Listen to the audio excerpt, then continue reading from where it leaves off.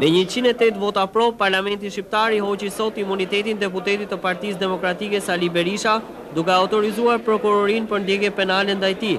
Nga njëqind e trembëdhjetë deputetë të pranishëm në sallë, njëqind e tetë deputetë votuan pro heqjes së imunitetit Ndërkohë që pesë vota kanë rezultuar të pavlefshme, kanë votuar të parët deputetët Dritëro Agolli, Bashkim Fino dhe më pas Maqo Lakrori, Pandeli Majko, për të vijuar me kryeministrin Fatos Nano, kryeparlamentarin Skënder Gjinushin, nënkryetarin e Parlamentit Namik Dokle dhe deputetë të tjerë. Kryerepublikani Godo dhe deputetët e së djathtës së bashkuar nuk kanë marrë pjesë në këtë votim. Procesi i votimit ka qenë i fshehtë, ndërkohë që për të ndjekur zbatimin e procedurave,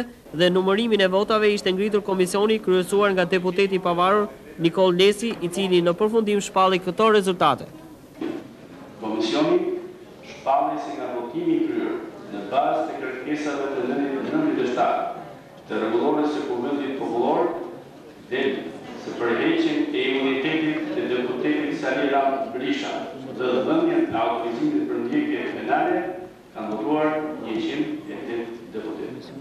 Komisioni, Nikollë Lesi, Tim Ahmetaj, Luan Rama, Ilir Zela dhe Judit Bega.